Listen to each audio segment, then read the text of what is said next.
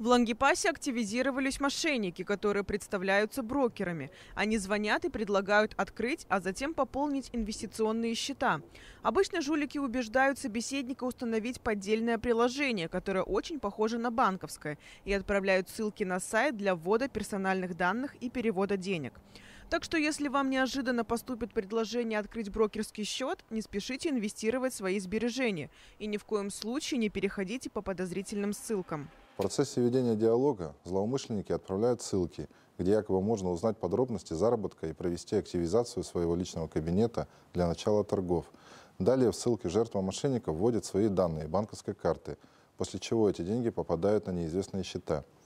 Мошенники даже могут присылать документы для заключения договоров инвестирования и обучающие ролики, однако они являются липовыми. Чтобы не попасться на уловки мошенников, в первую очередь необходимо обращать внимание на то, с какой компанией вы общаетесь и по какой ссылке переходите. У компании должен быть официальный сайт, на котором должна быть информация о лицензиях.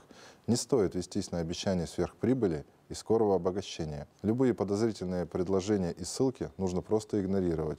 Не скачивайте никакие приложения по указаниям неизвестных лиц и никогда не доверяйте неизвестным лицам по телефону.